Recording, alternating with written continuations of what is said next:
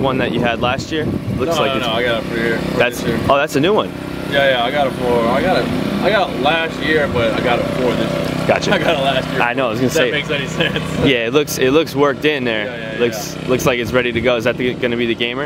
I hope so. I'm trying to make it one. It still needs a couple more, couple more days in it. And is that the that's a pro preferred? It looks like right. Yeah, yeah, yeah. Pro Preferred inside and uh, Go Glove on the out. I notice a lot of guys do this. They, you know, they get a glove from the year before and then they work it in the whole year. What's that process like? Yeah, it's pretty tough.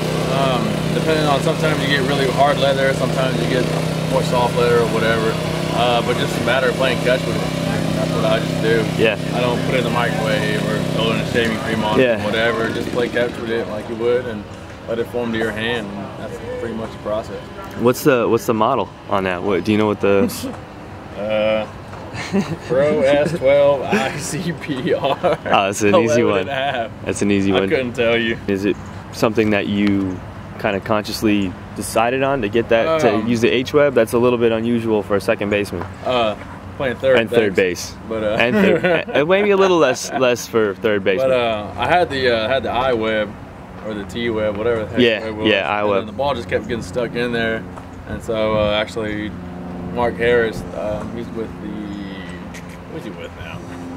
He's uh, he's one of our minor league coaches, and uh, he had told me, yeah, if you get the H web, and then ball ain't ever gonna get stuck in there. yeah, So uh, I decided to give it a try. It's been working so far. it's been working well. Yeah. So uh, growing up, I mean, you know, I was always a Griffey guy. I was I'm an outfielder. So Mm-hmm. did you have a guy that you kind of looked up to that as far as the gear and, and Yeah, I was actually a Griffey man myself. Um, who wasn't? Uh, exactly. Uh, you know, I guess the big kid.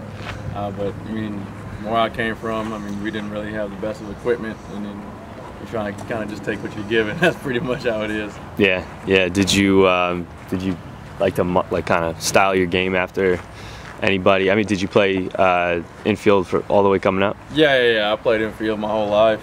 Um, I would even, and I switched it back in the day when I was growing up, and so I would, all right, imitate his swing. I'm talking about gloves, but I would imitate his swing back then. So how about the way you care for it when you uh, when you're on the road? I mean, are you are you really you know worried about where it's at at all times and, and Uh, not too. I'm not too worried. Um, as a matter of fact, I might let it. I don't mind if it gets floppy, if it gets loose. You know, some guys they like it the perfect shape or whatnot. yeah Um, I'll have it keep the shape.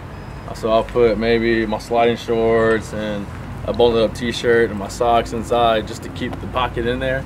And I just won't throw the glove in there, just like how it is, and let it get folded around. So I'll have a little bit of clothes inside, so it won't. I guess it won't conform. I guess it'll be flat. yeah yeah. Flat. And the, I think the last question I have for you, uh, you said it's pro preferred. Do you prefer that versus the heart of the hide? Have you had both? I mean, what do you what do you Uh, think I really, about that? I couldn't tell you the difference. As long as it catches for me, I'll be happy. I mean, I'm a simple man.